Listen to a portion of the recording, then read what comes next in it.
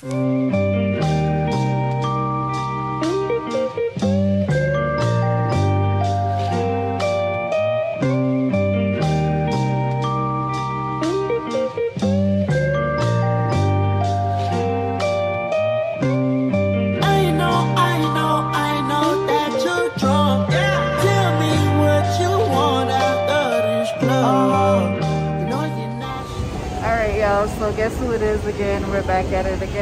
video, another trip. Today we are on our way to Vegas. Uh, we just got to the airport. TSA today was crazy. It was a long line, so we didn't get to vlog too much on the way here. So uh, we'll keep y'all posted on all the updates. About to get something to eat because we got here super early, so we got a lot of time. But we'll check in with y'all in a second. All right, y'all. So we just made it onto the plane. Uh, we got a little something to eat. We're in the front of the plane today. We rode a Spirit, but we got the big front seats, and I must say, you know, they're actually pretty good. They're, yeah, they're really comfortable. They don't push back or anything, but they still, you know, have enough room and stuff. And we got our mother-in-law, and we got a little bro with us today as well, and for the flight. All right, so we'll check back in with y'all once we get into the hotel. And we got some surprises on the road. I know, right? Y'all, so y'all stay oh, tuned. See y'all there. All right.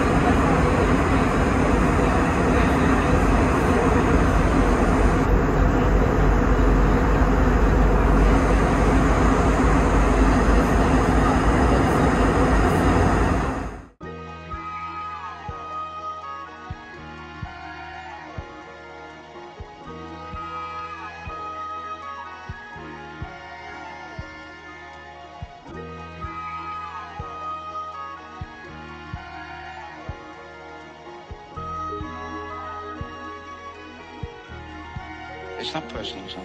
It's strictly business.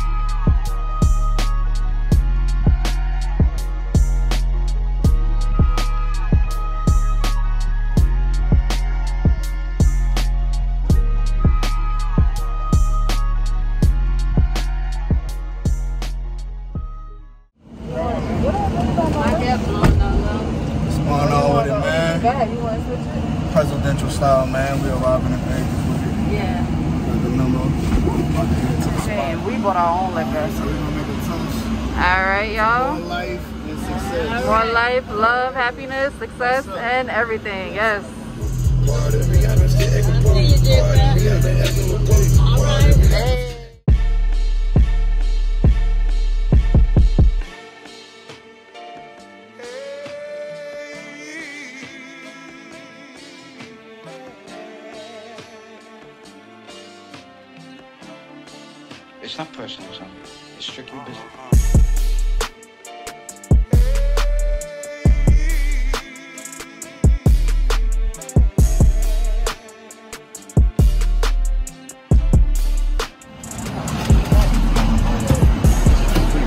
Appreciate you, my guy.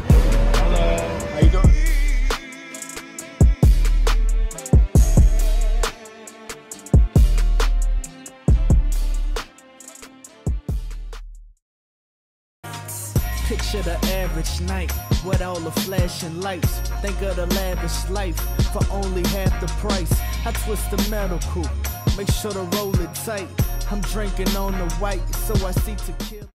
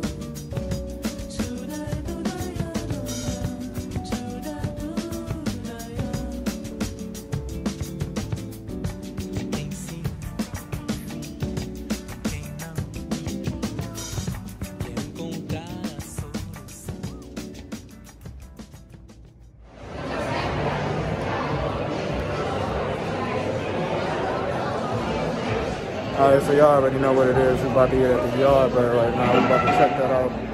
Y'all stay tuned in. All right, y'all see the festivities going on, man. Pool looking A1. See what's going on. Good. Good? Are you guys doing any other tours or anything like that while you're out in Vegas? And then down there on the right, that is a really popular hike, uh, trailhead for a really popular hike out here called Gold Strike Hot Spring. Um, as the name suggests, it will lead you down to some hot springs, but it is closed. So they close it from May to October because of the extreme heat down there. Uh, it's really hard to carry enough water for that hike because it gets too heavy. Uh, there's lots of ropes and different belaying that you have to do to get to the springs. But if you're out here in the spring and winter, an hike to do. Uh, our full day tour also stops at that uh, hot spring right at the river's edge.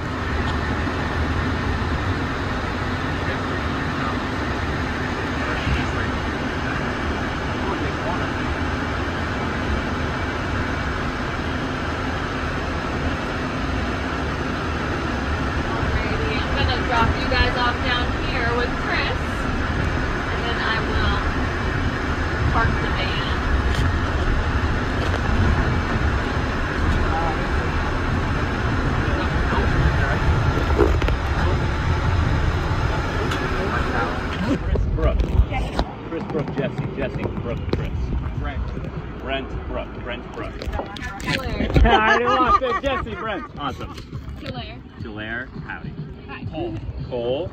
Johnny. Johnny. Janae, Janae. Pleasure to meet all of you. Anybody's first time in a kayak or have we all paddled before? first time. No worries, good. The Twilight Tour is going to be the easiest tour we've got because usually the wind dies at night. It's going to be really lovely. So, the most important piece of equipment you're going to be wearing today is this life vest. Anytime you're in the boats on the water, you need to have these on and all buckles need to be fastened. It's not our rule, it's a big boss rule. We'll get a big fine if you don't do it, so please help us help you keep all of us safe. Pick a tandem, any tandem. There's not those two on the end, those are guide boats. If you have a more confident paddler, I recommend there the paddler in the back or a stronger paddler. If you want to put anything, the back hatch is the biggest.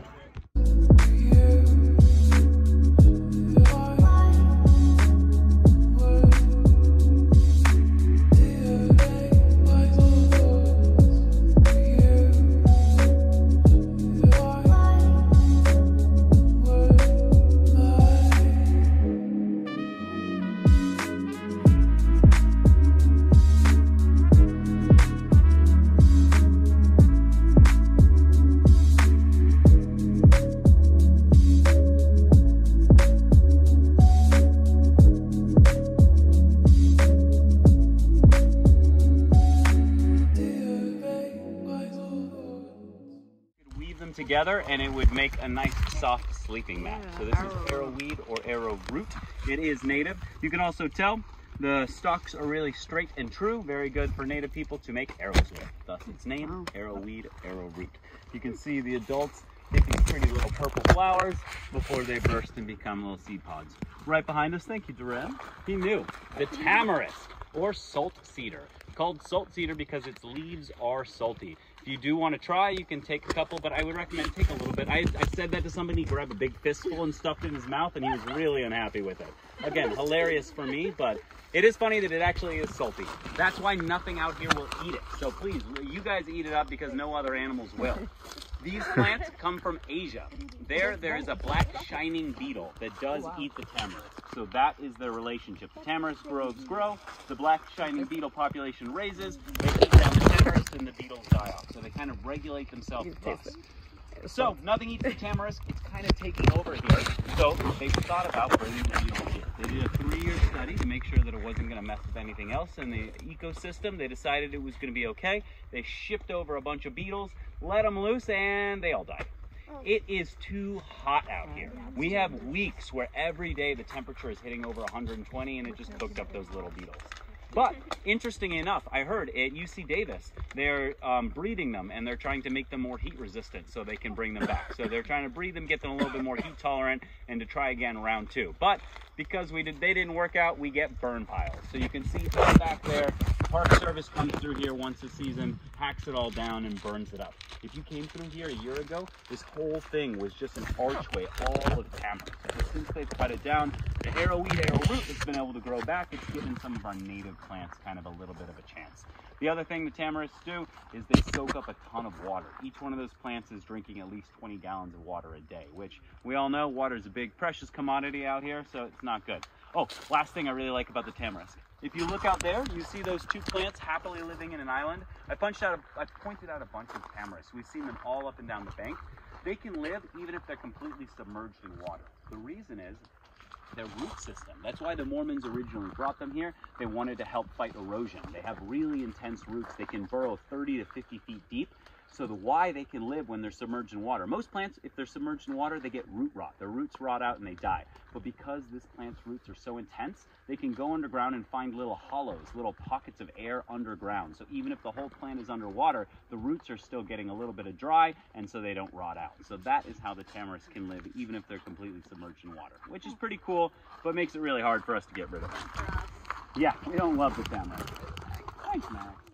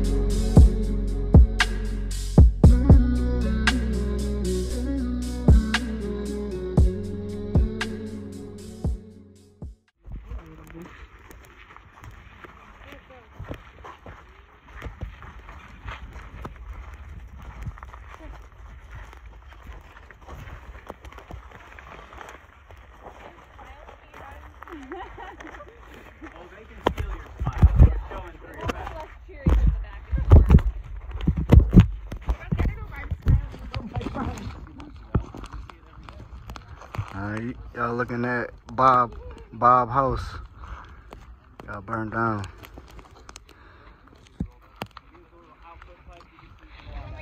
It was actually about to make this a dam at one point, but they changed their mind.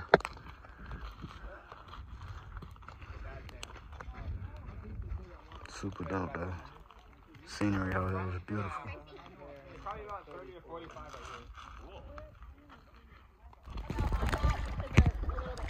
Don't know if y'all can see it, man, but it's an old scalpel right there. That Bible house burned down. He usually used to use that to get back and forth across the river. Welcome to the animal. No, I got it. It's only about 10 or 15 feet deep. Oh, it's better than the 75 or 100 that is right out there. That was a duck. McKenna, how do I turn your flashlight on? Uh, on the handle there's a button. Thank you. No, right, so you tap the handle. Leave it. Ah, so that is what the Emerald Cave does. So, what causes that right now is my flashlight coming in at a low angle. But what causes it during the day is the sun. The sun, when it comes in at a really low angle, it's bouncing off this white sand bottom, and it refracts off of that, and it gives it this lovely shape. And that's what makes Emerald Cave so famous. It's that low sun angle, that white sand bottom, and that clear water.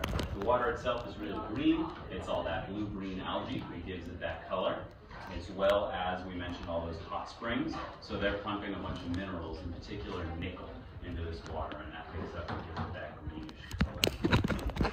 So we mentioned Bob was out here because he was thinking, they were thinking about building the dam. Obviously, they did not. The main reason they did not end up building the dam is the Emerald Cave.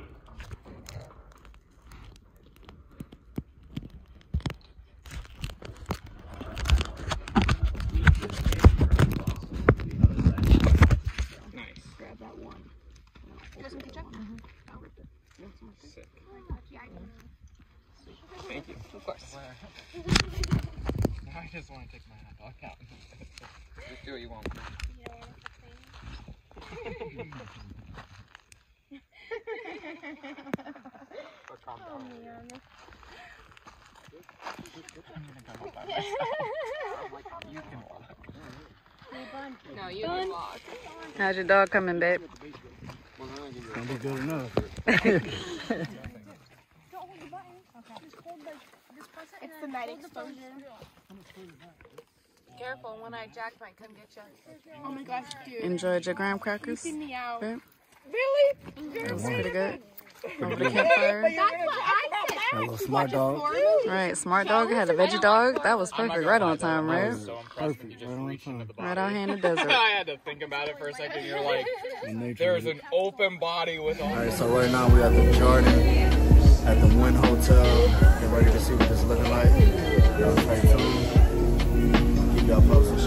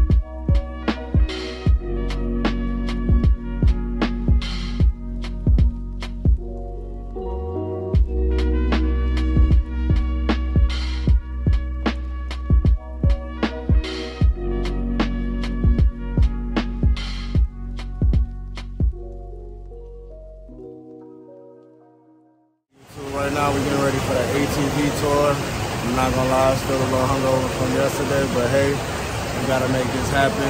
We already paid for it too, so um, looking forward to this, man. I think we get a chance to ride around in the ghost town and stuff. So y'all stay tuned. We're gonna let y'all know how they look. All right.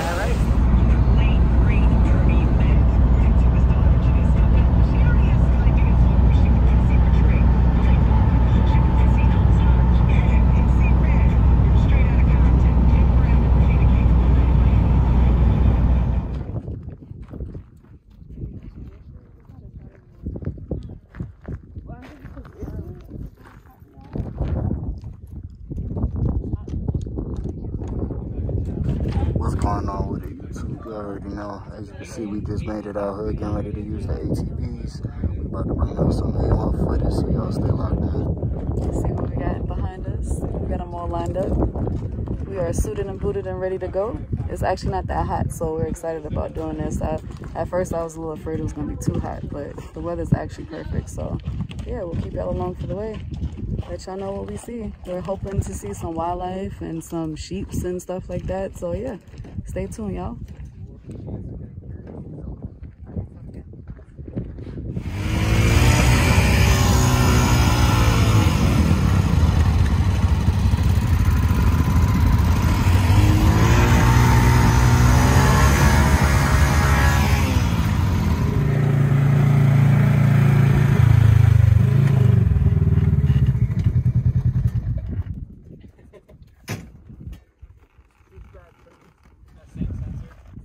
I was hoping you saw a tortoise or something, so we were gonna pull it out so we could see it. We saw a itty bitty baby um, um, bighorn sheep when we were out kayaking on the.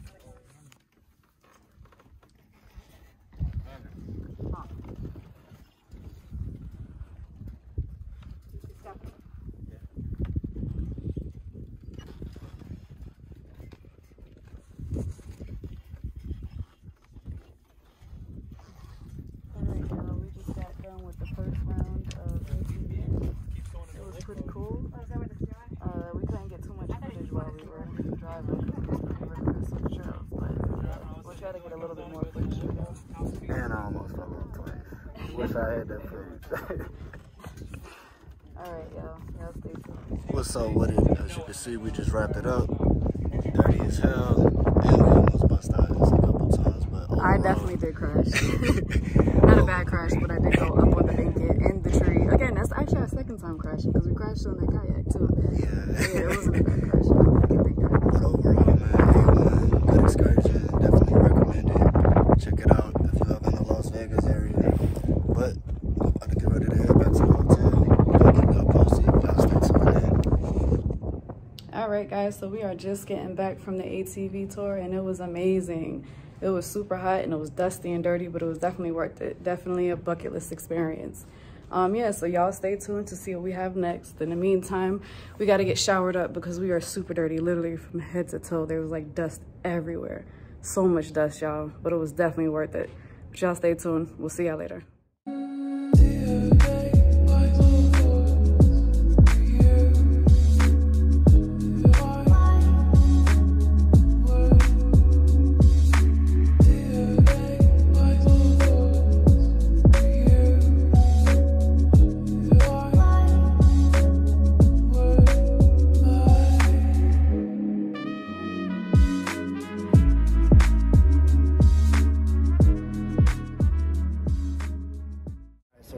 We just got on Fremont Street, getting ready to uh, try Slotzilla.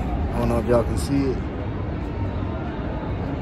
Dope little spot. It's probably about 20 minutes outside of the strip, but uh, definitely worth it to come try it. I'm gonna bring y'all a little footage, let y'all check that out, see how it is.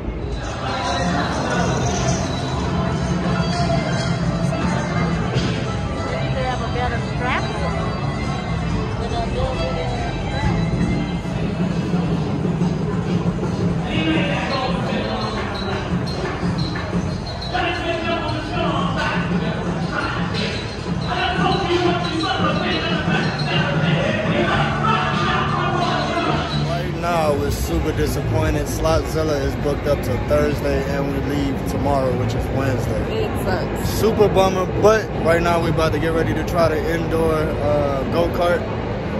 That should be fun. You know what I mean? We gotta try to do something to make up for it. But y'all stay tuned. We're gonna bring that footage to y'all. Right now, let's go watching our little safety video.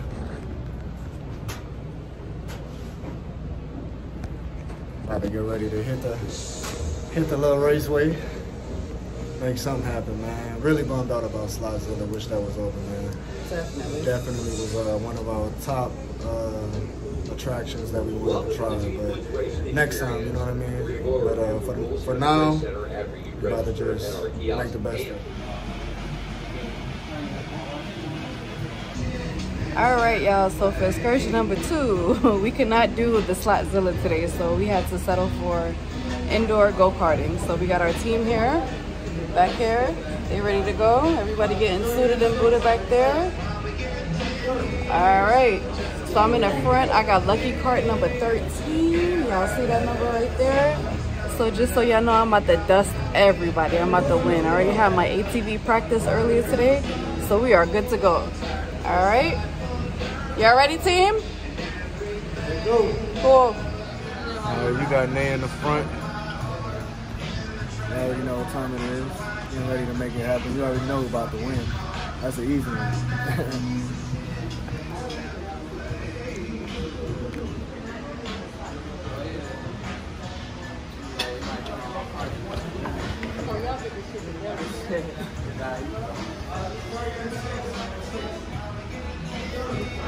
Alright, so Brody, Brody and this girl in the back, man. But like I said, I'm winning. So in the conversation, we're gonna see the results once we finish.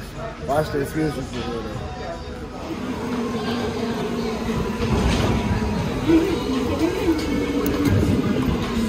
I thought it was a game. I do this. Who y'all see? Y'all see anybody? I do this. I told you. See races. Yeah. Yeah. As I told you. You see that name? You see the results? No. I can't lie. I can't make this up. I told you before I And then that's started. a drifting. Like, that's not real. Look at the excuses. Listen, this is Look, listen. I would have caught that man behind the camera if it wasn't for this. I would have caught him. No, these two messed us shit up. these two. She messed up. You can't have your feet on both of them. Y'all didn't pass it into her. That's why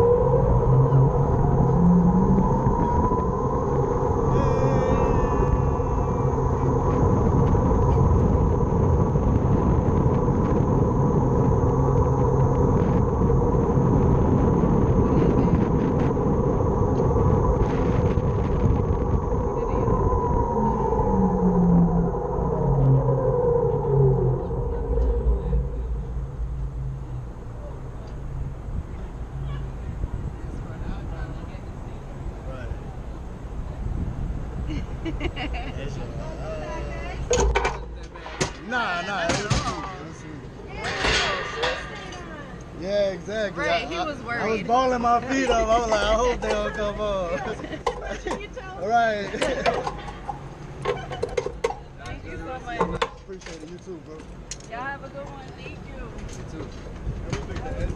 Yeah, yeah, I'm gonna get it. Tell me what you want after this love.